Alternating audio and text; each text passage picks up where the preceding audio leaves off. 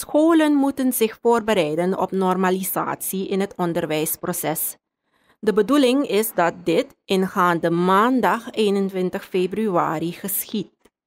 Minister Marie Levens van Onderwijs, Wetenschap en Cultuur heeft tijdens de parlementsvergadering van donderdag 17 februari aangegeven dat normalisatie niet overal zal leiden tot vijf dagen school.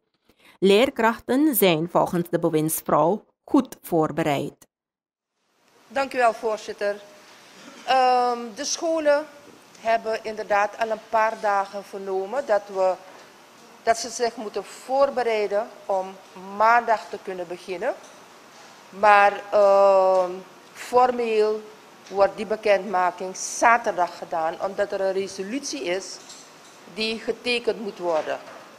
Maar wanneer je 150.000 mensen in beweging wil brengen, kan je dat niet zondag meedelen voor maandag.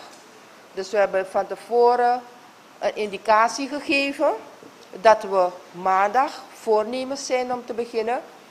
Uh, woensdag uh, is de president definitief akkoord gegaan met het voornemen en zaterdag wordt bevestigd in een resolutie. Maar de leerkrachten zijn voorbereid en onze schoolleiders zijn hele ervaren managers en die hebben zich uh, heel goed voorbereid om weer met volledige klassen te kunnen beginnen. Dat zal niet overal uh, leiden tot vijf dagen school, want we hebben klassen met 55 kinderen in een klas. En dat gaat nooit meer gebeuren. Dus die klassen gaan terug naar 24. Dus je gaat scholen hebben uh, die maar drie of vier dagen alle kinderen kunnen hebben.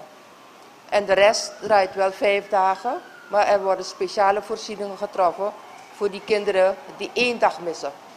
In die tussentijd proberen we natuurlijk naar extra locaties uit te kijken en voorstellen te doen om zaterdagschool weer in te voeren voor de grotere uh, studenten, jongens en meisjes in het voortgezet onderwijs, zodat we wat lokale vrij krijgen om de kleinere toch vijf dagen op school te krijgen. En dat is een opschuifsysteem waar ik voorlopig nog niet uh, te veel over wil zeggen.